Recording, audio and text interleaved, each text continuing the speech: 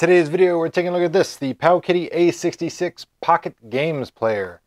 Uh, looking at the packaging here, we just got a no frills, no thrills, just bare bones packaging. I'm okay with that. It's kind of in line with the Powkiddy releases today. So unboxing it, see what we get. So we have our charging cable, I'm guessing. USB-C connection, which is great. I'm tired of seeing micro USB used, so good to see USB-C there. We have an instruction pamphlet we got English on one side, Chinese on the other, and then we have the little guy itself, the A66 Pocket Games Player. Now this thing is pretty small. Obviously, if you got big hands or you want a big handheld, this is not the device for you. This is for somebody that literally wants to slide something in their pocket, have something on the go. This thing is a little bit bigger than a credit card, but not by a whole lot. It's basically four inches long and two inches tall, so that gives you a good idea of how you know much space you'd need to go ahead and slide this in the pocket. It's not thick at all, and comparing it to say Nintendo Game & Watch here and here, as you can see, it's even smaller than the Game & Watch, a little bit shorter on the top and the bottom. So go ahead and check it out. We've got D-pad, feels good. Nice clicky. Responsiveness, not mushy. Bottom here, we've got a select, a menu, a start button, our charging port, single mono speaker here in the right hand corner. Then we have four action buttons. Equally as clicky and responsive as the D-pad. We've got L and R buttons up top here.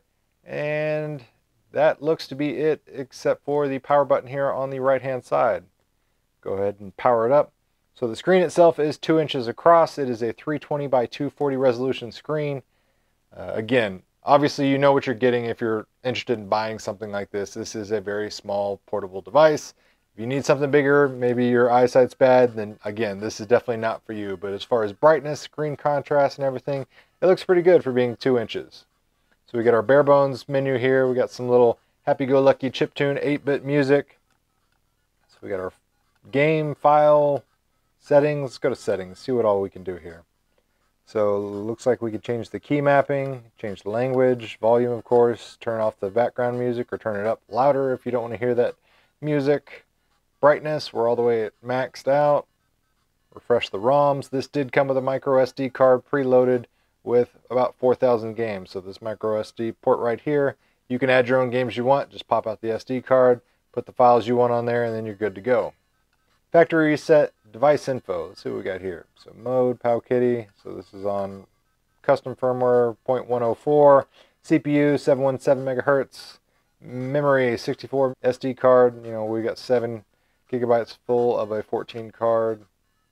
And it's just bare bones basic information. Anyways, games, games, games. That's that's all we really care about. So this will play all your retro consoles, your Nintendo, Super Nintendo, Sega Genesis, Master System, Game Boy, Game Boy Advance, Game Boy Color. Uh, what else we got? PlayStation and I think PC Engine. What you're after are the retro games, so the systems. Oh yeah, arcade, of course. Duh, how can I fit arcade?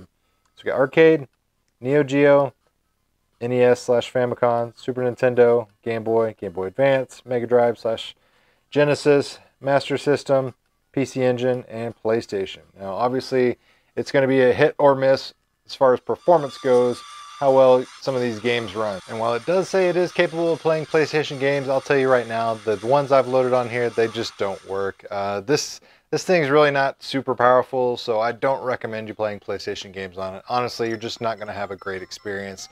Uh, the control layout, the size of the screen, the size of the device and everything. This thing should really be used only for those older retro systems in particular. The top buttons we do have. Uh, you could play fighting games with this directional pad but having the four action buttons here and the two action buttons up top is going to make that less than ideal, but you know, you do you, live your life. But anyways, this thing is retail price at about $40. If you're interested in picking up one of these, I'll put a product link down in the video description box below. So again, navigation's easy. You just go into here, playlist. This will show all the games you've recently played. Your favorites, of course, anything you want to select as a favorite will be here. Retro game, this is where you actually want to go to play the games loaded on the SD card. The game, again, is just those random three games that are preloaded on this device, but what you're after is this retro game folder. You're going to select it. Now you've got all your different systems. We got arcade, Neo Geo, Famicom. Let's go ahead and go to NES Famicom. We see the games listed here. If you push over to the right one more time, you'll get to see the box art. A lot of these do have Japanese box art as well as Japanese titles, but it is still pretty easy to find the games you want to test out. Go ahead and pick up one, loads up. Now, depending on how big the file size is, there will be a loading screen and a, a measure bar to indicate how quickly it is loading, but this is a, a very small file size game, so it shouldn't be an issue. So one thing to note, anytime any of the systems whatsoever, you hit that middle button, it brings up your menu option. So you can go back you can use that as a default pause. You can save your game and you can load games. So all of these systems are able to save and load save states, which is great. Uh, like I said, if you're sitting there on a commute, playing this on the bus or the train or something like that, you can save your Pokemon progress, your, your Mario Brothers or whatever. Save where you are, get off, go to work, come back on your lunch break or whatever, load up your save state, and you'll be good to go. You can also change the game volume. You can exit the game completely and go back to the menu, but we'll go ahead and hit continue and we'll get some gameplay going.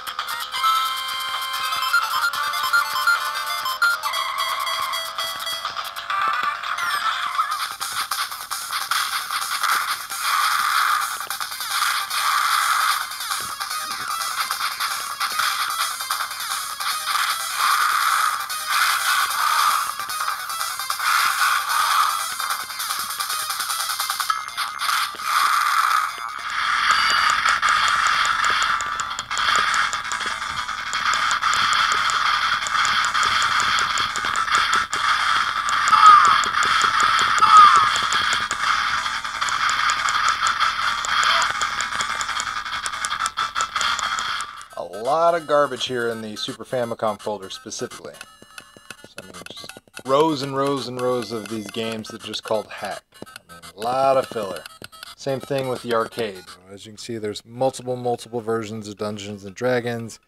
You get down to the Street Fighters, and there's probably you know 50 different versions of Marvel vs. Superhero, Street Fighter 2, Marvel vs. Capcom, Vampire Hunter.